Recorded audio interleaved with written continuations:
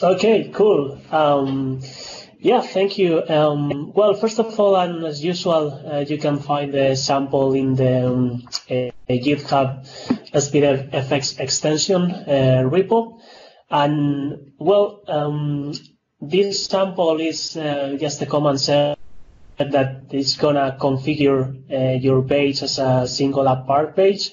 And well, if you take a look to the uh, official documentation, um, there are like uh, three ways of changing the, um, the layout. You can run some JavaScript in the browser console, which obviously is not great. And then you can use the um, uh, PnP PowerShell commands or the uh, CLI um, to change the page layout. After all, the only thing that we need is to change the um, page layout type property of the um, list item and set it to single web part up page. So I thought it would be a good idea to have the option to configure uh, the page from the UI. So I developed an extension um, to that. So uh, let's do a quick demo. Uh, I have created uh, some pages here in my um, modern team site. So let me show you the one with um, an image web part on it. Uh, so as you can see, um, this is the usual layout with um, page header on here, title, author, and so on, and there's just an image in the um, in the page. So if we jump back to the site pages library and select again the page, uh, we have a new command button on here to single app part, and if we click on it, we are getting, hey, the page is configured as single web part app page. So if now we jump back to the page and we refresh, yes, you can see um, you are getting the, the single uh, page part layout. So the image is taking um, the entire the entire um, uh, main content in the in the page, as you can see here. So um, if we take a um, quick look uh, to the source code, um, this is just an SPFX extension, uh, list view command set extension. In this case, that we are defining just one uh, command, the button to um, convert to change the, the page layout, we are using a base64 image on here for the icon. And well, all the magic is actually happening in the uh, command set code. So when the uh, list view is updated, we are just checking if we have uh, only one item uh, selected. And if that's the case, we are showing the button. And when we click the button and the onExecute uh, method fires, um, we are checking is our uh, button. And in this case, from the selected rows, um, we are just getting the name of the of the page, the ASPX file name, and we are calling this async function on here with the name. So basically, we just need to do a post request to the REST API, Circle REST API. So in this case, it's get file by URL, name of the page, and the um, the fields of the of the list item. It's a post, so we need to configure some headers, and also in the body, um, we configure the page layout type with this single web app page value.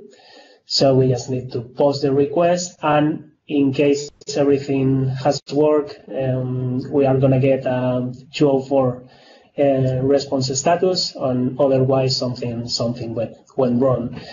Um, so, well, this is um, this is the code, and again, um, gives him how, how it works. So that's pretty much uh, everything from my side. But I think you wanna yeah, so, so let's let's talk about that one slightly. Can you go back on the on the page and let's pinpoint a few things here. So, so first of all, uh, like I like I mentioned on the uh, on the intro, uh, the the end behavior in the general availability will be different. So you don't have to programmatically change this behavior. This is the preview experience, um, so that people can actually play around with this. The the key question is what actually Till is asking. Uh, can I get rid of the left navigation? Answer is yes. It, it is part of the page layout layout. So you can actually change the page layout to be home page layout. Uh, oh, sorry. In the communication sites, you can actually get rid of it. So, um, so it, it is part of the, the rendering logic. Now, right now, we're in a modern team site. So by default, in the modern team site, the left navigation is there. So you can get rid of it. Uh, you can also, uh, nowadays, you can adjust already the header section in here. Um, so uh, actually, we can we can show that that in here as well. So this is a modern team site right now. Uh, uh, Luis, can you actually? Oh, that's a good point. That is a good point. And then going back on the on the page, and voila, we are without uh, the left navigation. So it's it's just matter of uh, configuration uh, what are we doing uh, on the page. Now, can you go to the modify uh, the look and feel on the menu? Uh, one thing what I wanted to pinpoint uh, here as well. So on the gears menu, interesting that it's not actually expanding. Well, no, the image is smaller than the screen. So can we go to change the look functionality? And in here, I click header not all of the and we can actually click compact and that's going to reduce then the, the SharePoint section on the on the uh, front as well. Now we potentially if we do now apply um, well actually can can we set uh, the header color to um, purple and then do apply? That gives an idea uh, how it will look like uh, as well. So the the background uh, on the header yeah I think we're and then the background option and then let's put that one, the background being purple. Or we could upload an image as well later.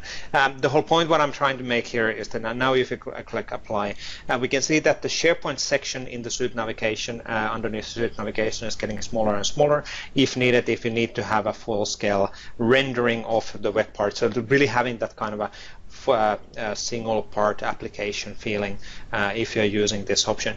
Now, there was a question, by the way, uh, which I want to address right away. There was a question related on, can I modify a custom uh, modern master page? Answer is no, because there is no such thing as modern master page. So we're not using uh, master page techniques uh, anymore uh, in SharePoint. Um, we are giving you options on embedding headers and footers and new uh, new placeholders in the um, which are coming, um, but you cannot modify a custom master page because, um, or the master page itself, or introduce a custom master page because that's not a future-proven way of modifying sites. So we need to have uh, alternative ways of doing this. Um, one thing what I wanted to also pinpoint here uh, is that when, when you're creating uh, so in the GA, so whenever the 1.8 comes out, when you are actually creating new pages, uh, when you click add a new page, will actually introduce in that selection then all of the web parts which are supporting a single page application rendering. So you're kind of creating automatically then a new page. So you don't have to go through this flipping of the of the uh, page layout and section uh, in the site. But I think that's pretty much it. Maybe somebody might be still thinking on, hey, so will there be ever never an option to get rid of the header completely, which is now saying the modern team site uh, in this page, uh, which is a fair question uh, because some people would like to get rid of that. Now, it's it's one of those things which are still uh, under discussion. One of the reasons why it's why it is there is that if we would get rid of it, um, what would be the SharePoint? So where is then the SharePoint? SharePoint would be completely gone. So the thinking is that it, uh, in our design team is, is thinking that having that header, at least as a small header, header, will make sure that the end user will know that they are actually in a SharePoint and they would not get lost, rather than completely getting rid of the, the SharePoint section um, and only leaving suite navigation on the top. So again, debatable. Uh, I would ask that people would uh, give us feedback using the user voice on all of those things, um, and that if, if you need to get rid of that and that's a viable thing, um, please use user voice to give votes on that one.